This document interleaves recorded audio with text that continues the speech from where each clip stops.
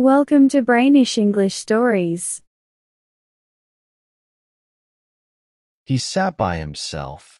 It wasn't getting dark, it was night time, very dark night time. He turned off the lamp because he wanted everything around him to be as sad as his own thoughts. Even the small, weak light from the fire in the stove, shining on the nearby objects, bothered him. It reminded him of the happy times he used to have. His deep sadness seemed to freeze all his feelings and ruin his life completely. He didn't seem to think, he only felt. The deep sighs that sometimes came out of his tight lips were the only sign that he was alive. All his shaking, crying, and the sad look on his face were like hidden pain in his heart. Just a few years ago, he was very hopeful and happy. He was in love and later became a very happy husband and father.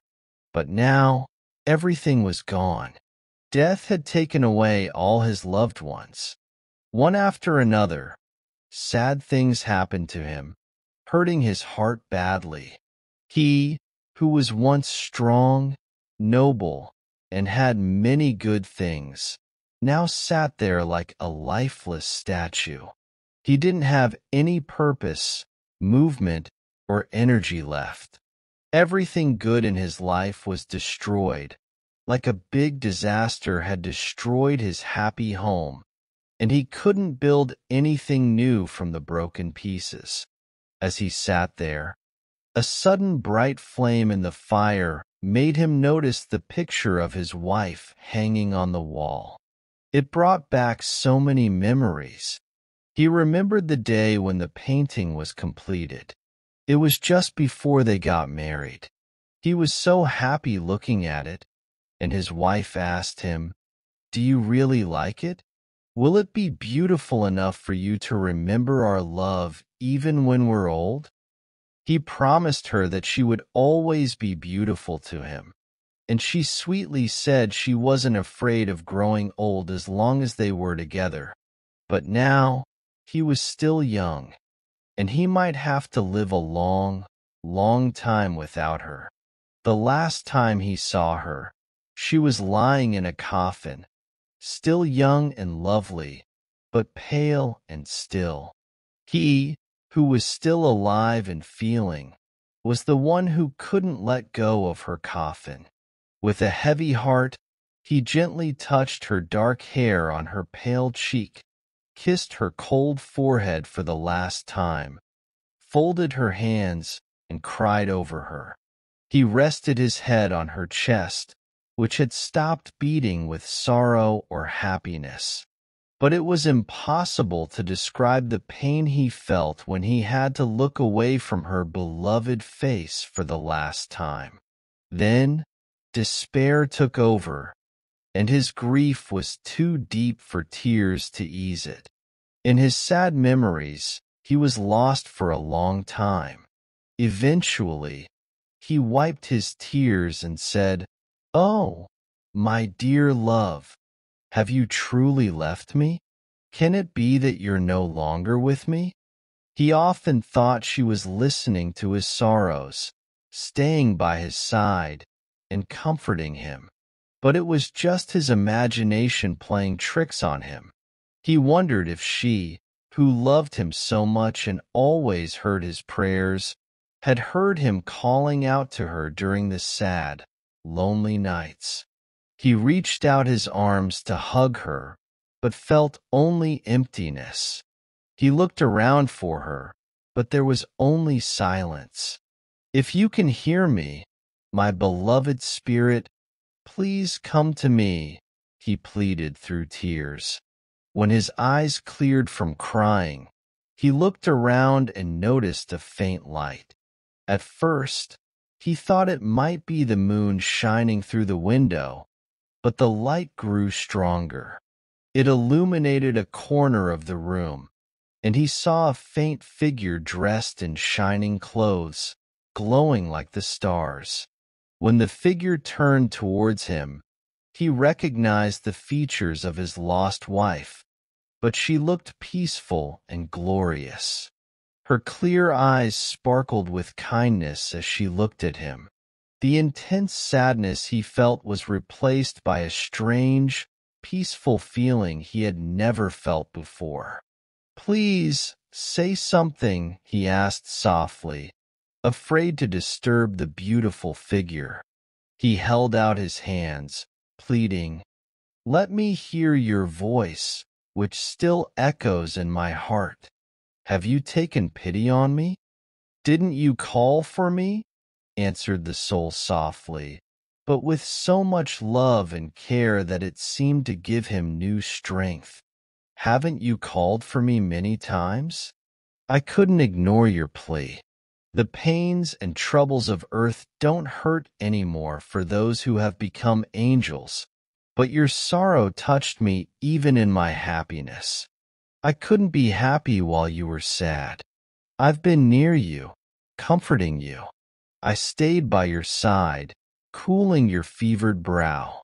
And when you seemed a bit comforted, I stayed at your feet, watching your dear face. I was there when you wept over my coffin, wishing you could see me and know I was close. I would have hugged you if I could. I was there when our dear child was dying, too.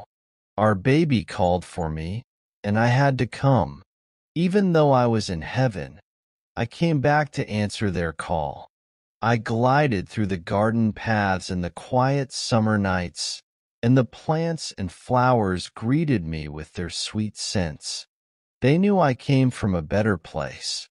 Nature spoke to me, asking me to bless its land with my presence. The dark elder tree and the blushing rosebush reminded me of the times we spent together, walking arm in arm through the green paths and flowery walks. But I couldn't stay with those memories. I want to watch over our dying child.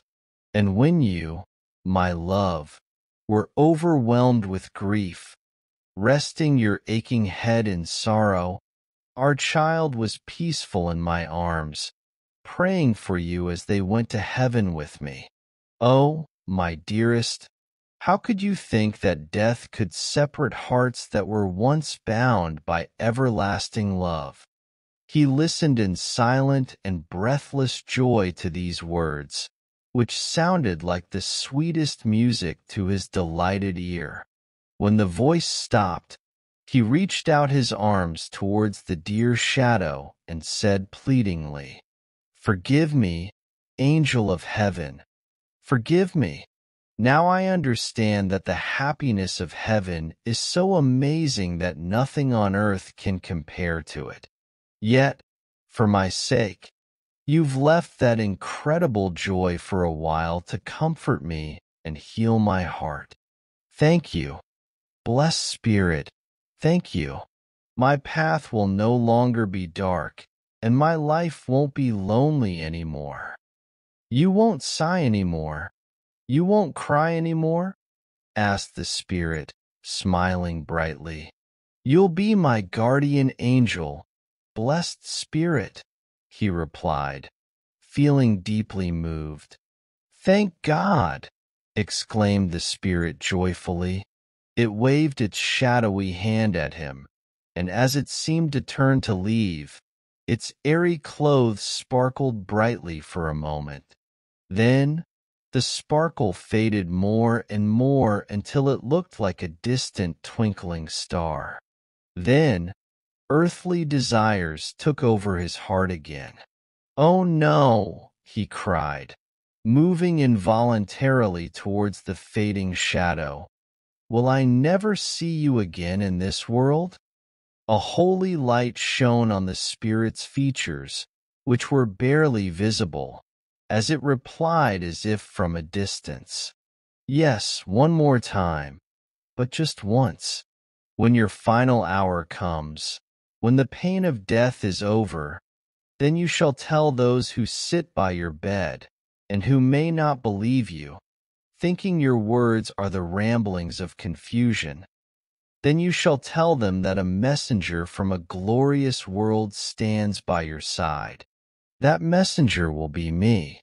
I will come to gently take your last breath, to bring joy to your closing eyes, and after your heart's last beat, to guide your soul to the realms of endless happiness where I await you.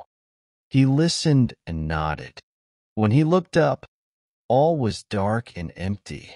He went to the window, looked out at the gleaming snow, and up at the bright starry sky, and prayed with sadness, but with sincere devotion. He lives to do his duties, to help others, to serve his God. He is never cheerful or lively, but he is calm and content. He enjoys peace and solitude.